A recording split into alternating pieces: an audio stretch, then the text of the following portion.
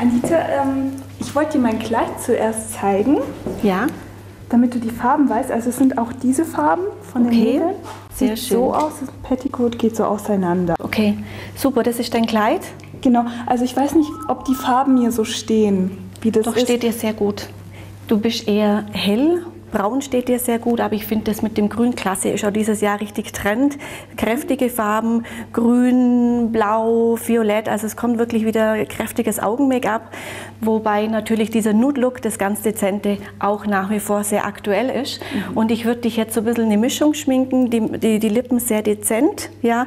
Und die Augen, das würde ich super gerne betonen mit einem schönen Braunton, mit Grün, ein bisschen Rosé rein und ja, Schauen wir mal, oder? Wir beginnen jetzt am besten mit der Grundierung.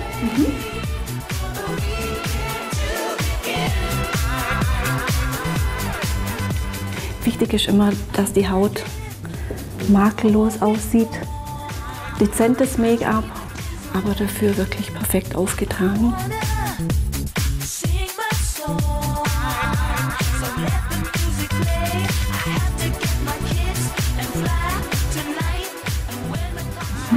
alles noch mit dem Puder fixiert. Und so hast du wirklich ein richtig 24 Stunden Make-up. Kannst heute Abend also richtig Party machen.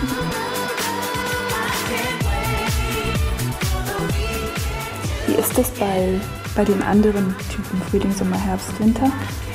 Da muss man ja auch darauf achten, welche Farben dazu passen. Genau. Welche, es hängt von der Kleidung ab natürlich. Die Haarfarbe spielt eine große Rolle. In dem Moment, wo ich die Haarfarbe ändere, brauche ich oft einmal auch eine, andere Farbe, dass ich nicht zu, zu blass rauskomme. Zum Beispiel gerade bei dunklen Haaren ist es wichtig, dass man dann einfach auch ein bisschen kräftiger schminkt, wie bei Blond. I'm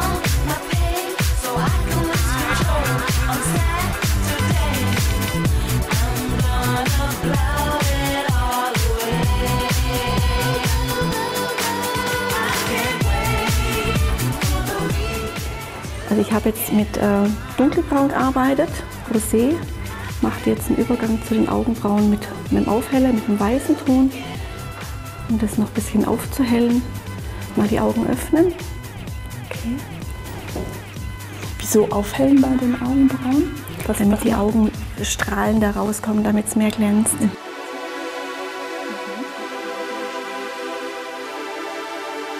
can't wait for the weekend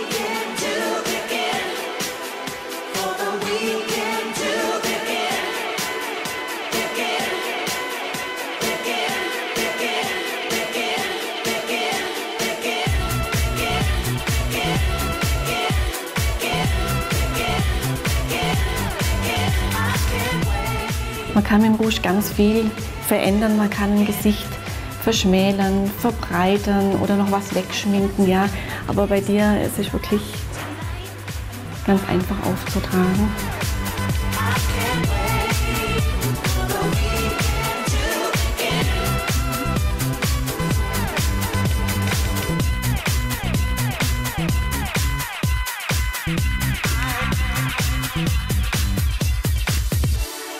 Auf den Lippenstift noch Lipgloss als Finish für den richtigen Glanz. Könntest du mal bitte deine Haare aufmachen, dass wir so das Gesamtbild sehen? Ja. Und schon ist mein Make-up fertig.